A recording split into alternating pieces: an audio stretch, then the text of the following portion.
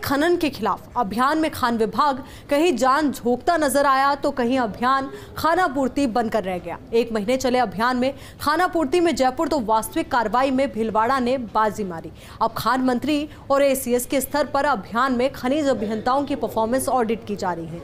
जल्द ही तबादलों में नॉन परफॉर्मर्स को फ़ील्ड से हटाया जा सकता है। देखिए खास रिपोर्ट। अवैध खनन के खिलाफ खान विभाग की ओर से एक महीने तक अभियान चलाया गया जिसमें पुलिस परिवहन जिला प्रशासन और राजस्व विभाग की ओर से सहयोग दिया गया। इस अभियान में एक महीने में कुल 1,601 पंचनामे बनाए गए एक एफ़ दर्ज हुई और एक वाहन जब्त किए गए।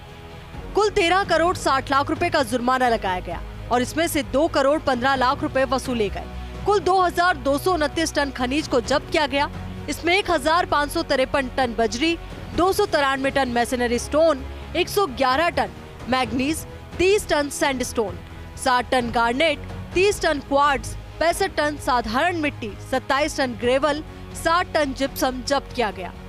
इन आंकड़ों पर तो खान विभाग खुश हो सकता है, लेकिन इस अभियान का एक दूसरा पहलू भी है, जिसके अनुसार अभियान में जितने कार्मिक लगाए गए, जितना मानव श्रम और मशीन का उपयोग हुआ उसका खर्च वसूली गई जुर्माना राशि के बराबर ही बैठता है। ऐसे में अभियान वास्तविकता से दूर, खाना पूर्ति ज़्यादा लगा। अवैध खनन अभियान के दौरान भीलवाड़ा में जोरदार कार्रवाई देखने को मिली। भीलवाड़ा में कुल एक मामले दर्ज किए गए। एक वाहन और मशीन जब्त कर बासठ एफ़ दर्ज कराई गई। साथ ही 625 टन खनिज भी जब्त किया गया। लेकिन दूसरी ओर, अभियान में सर्वाधिक खाना पूर्ति जयपुर में देखने को मिली।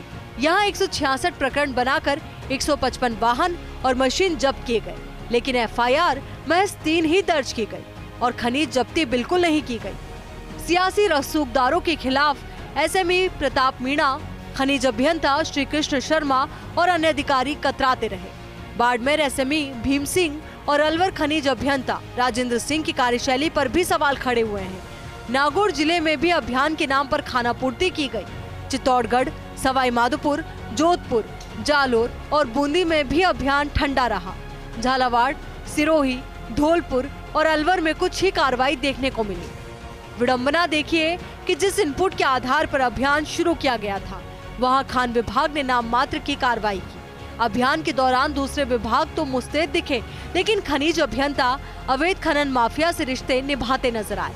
बहरहाल अब पूरे अभियान के खान मंत्री प्रमोद जन भाया और एसीएस डॉक्टर सुबोध अग्रवाल के स्तर पर परफॉर्मेंस ऑडिट की जा रही है और नॉन परफॉर्मर अभियंताओं पर कार्रवाई की जा सकती है। साथ ही उन्हें फ़ील्ड से भी हटाया जाना तय है। Nirmal Tiwari first India news Jaipur.